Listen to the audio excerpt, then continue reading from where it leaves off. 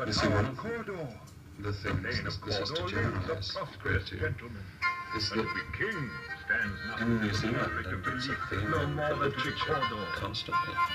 You feel always that you're further away from the centres of culture, wherever they are, than it's possible to be.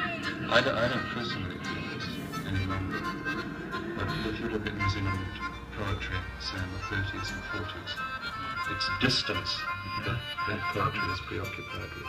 Trying to, trying to reach to that Yeah, centre yeah, you find by that, imitation. Whither they vanished?